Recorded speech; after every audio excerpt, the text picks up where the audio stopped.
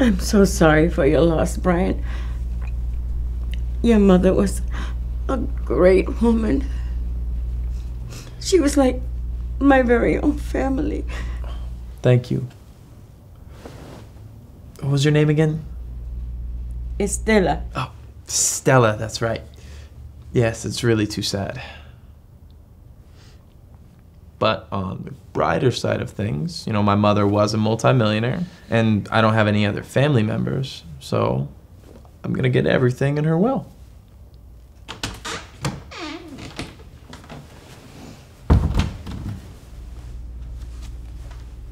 Hello, everyone. I'm Albert. Your mother put me in charge of her finances.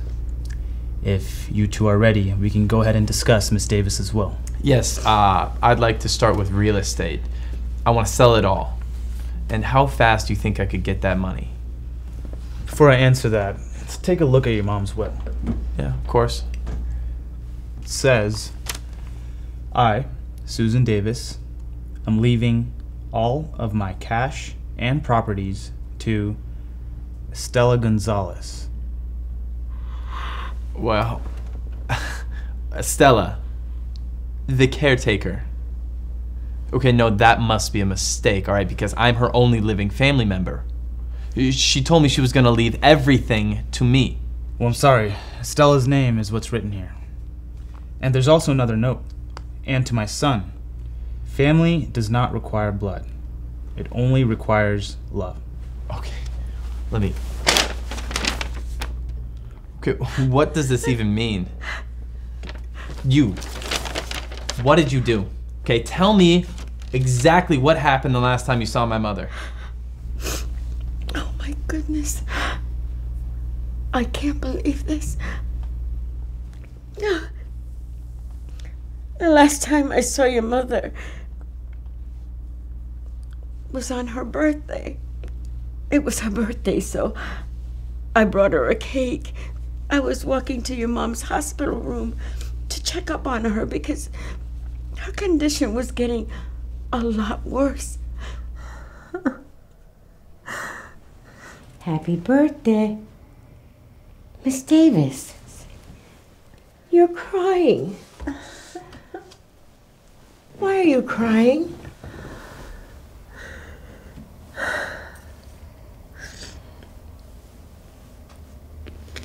It's nothing, Stella.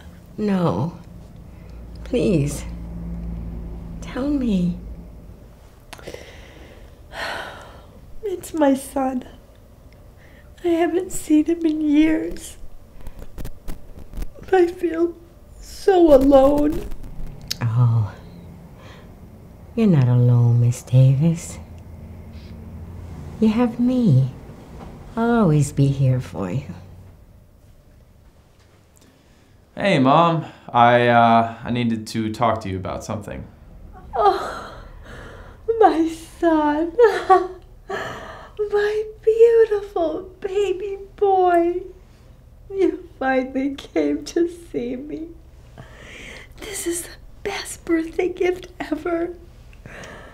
Oh, uh, that's right. Um, happy birthday, Mom. Look, I, uh, I don't have a lot of time right now, but I- I don't think you do either. So I think we should really talk about my future. Okay. What are you trying to say? Well, as your only living family member, I just. I wanted to make sure that you were going to leave everything to me in your will. Oh. You're here about the money.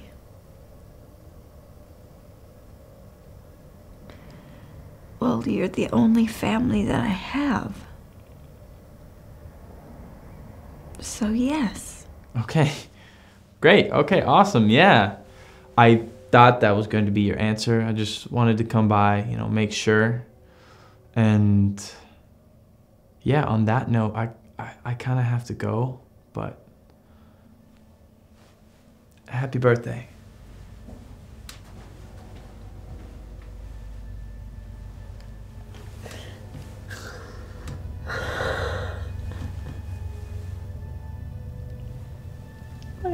Son. The only time he comes to visit me is when he needs money. He doesn't even care about me.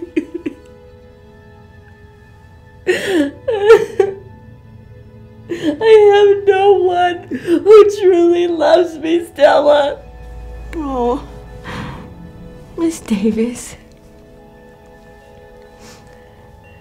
You're not alone.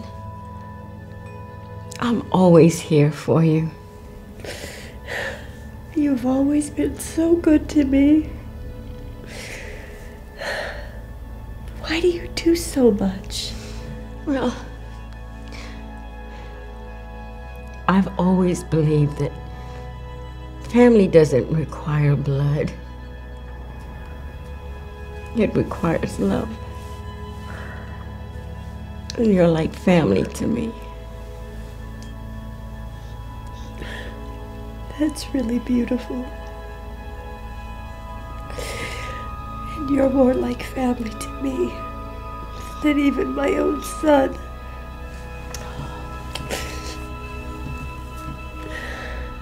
So you see, that was the very last time I saw her. She died the very next morning. I know. I I can't believe this. Okay, I needed that money.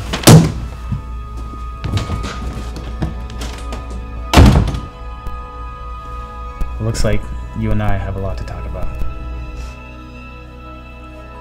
The first thing I'm gonna do is build a school in Mrs. Davis's name so that everyone can see how wonderful a woman she was.